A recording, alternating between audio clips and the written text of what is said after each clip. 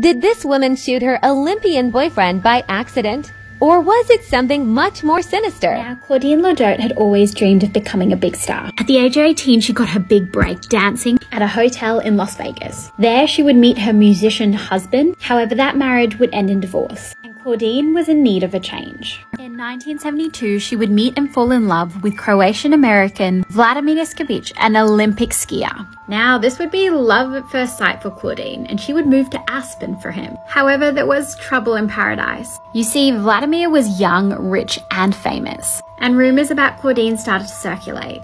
They said that she was way too controlling, and a breakup between the pair just simply seemed inevitable. Now, according to Claudine, one day Vladimir decided to show her how to use his pistol. That's when she accidentally shot him.